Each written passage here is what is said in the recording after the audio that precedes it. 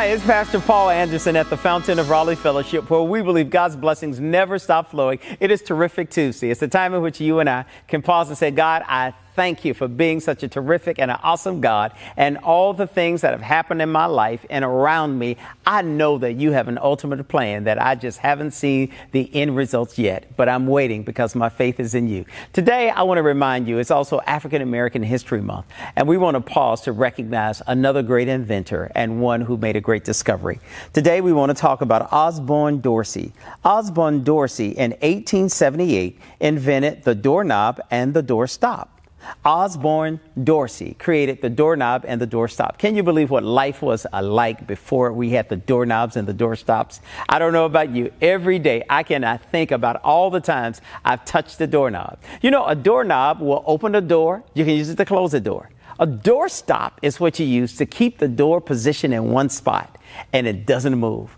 Thank God for him. I don't know about you, but I appreciate doorknobs and doorstops. It reminds me of faith in God. God will open doors for you that no one can open. He will close doors to keep things out or to keep things in that need to be there. He will stop doors, things where He says, enough is enough, and let us stay right where it is pause and take a break.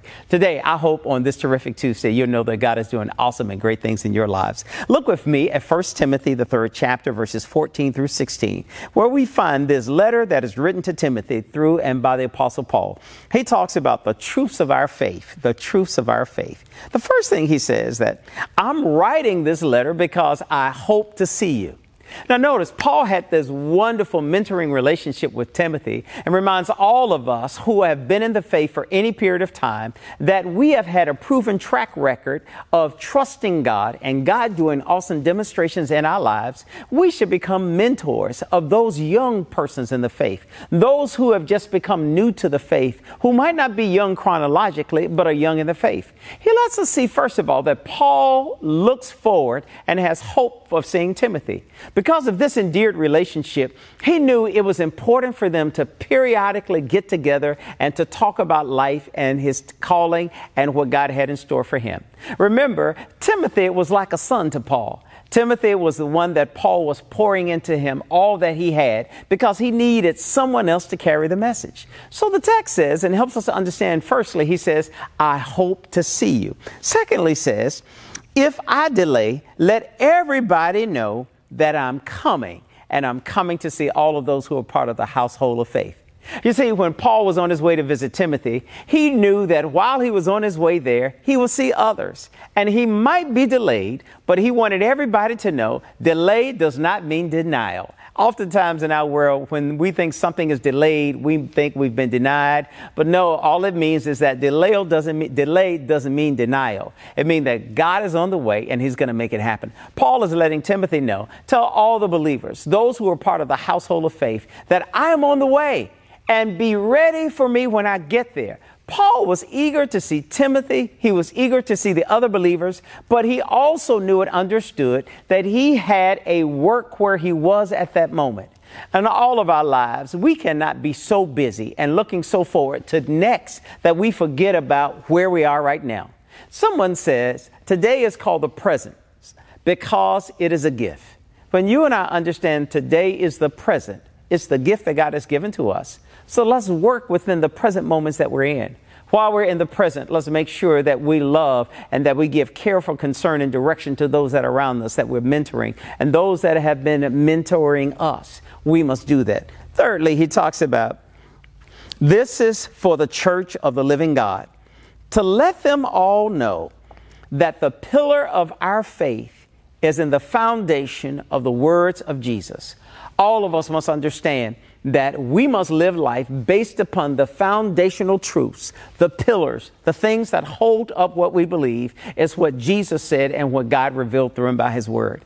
It wasn't man made doctrine, it wasn't philosophy, it wasn't our religious behaviors, but it was based upon the truth. It wasn't based upon a building, but it's based upon those of us who are the believers. We have found out during the season of COVID 19 that the church is the group of believers wherever they are. It's not a building.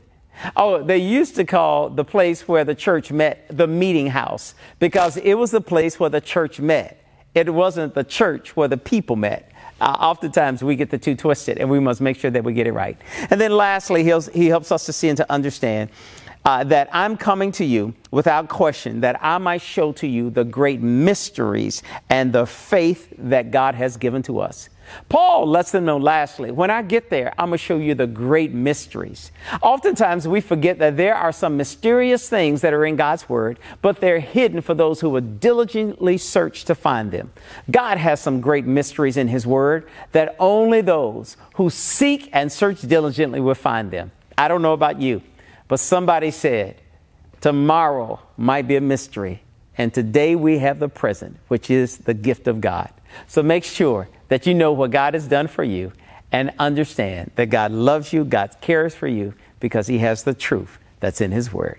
I look forward to seeing you on tomorrow. God bless you. To sow a seed to the Fountain of Raleigh Fellowship, visit our newly redesigned website, thefountainofraleigh.org, and select Sow a Seed from the homepage. Also, giving has been made easier with the new Fountain of Raleigh app, available now in the Apple App Store and Google Play Store. Download today, select Giving from the main menu, and then follow the directions to complete your giving through Subsplash. Thank you so very much for all of your gifts and donations that you've given to the Fountain of Raleigh Fellowship. We thank you for what you've done in the past, what you're currently doing, and what you will do in the future. Your gifts and donations helps us to spread the gospel of Jesus Christ not only locally but throughout the world.